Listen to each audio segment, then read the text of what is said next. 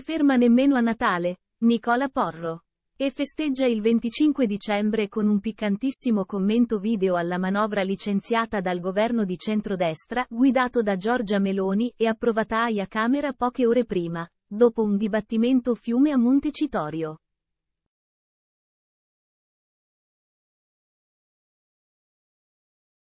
Per il conduttore di Quarta Repubblica, la legge di bilancio targata Meloni è una manovra che non vale nulla, per due terzi è sulle bollette.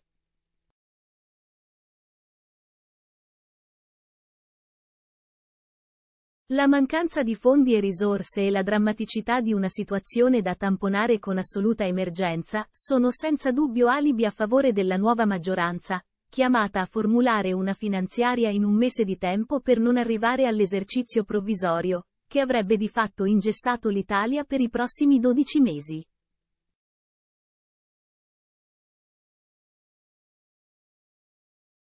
Ma questo non basta, spiega Porro, perché resta il vizio di fondo che accomuna tutta la politica italiana.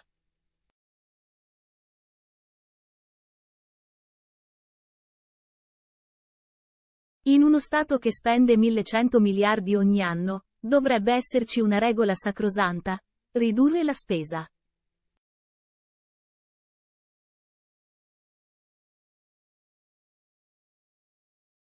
Siamo dei drogati attaccati alla mammella dello Stato, ognuno di noi becca qualche piccola elemosina di spesa pubblica.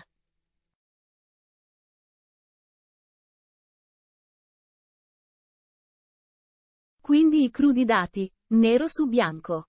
Tanto sconcertanti quanto immutabili, anzi, peggiorati di anno in anno, finanziaria dopo finanziaria.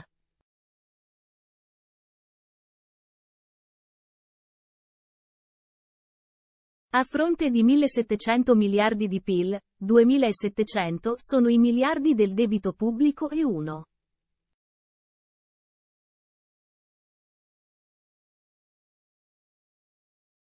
100 quelli della spesa pubblica. Siamo dei pazzi, ci hanno distrutto, tutti, da Berlusconi al PD fino alla Meloni.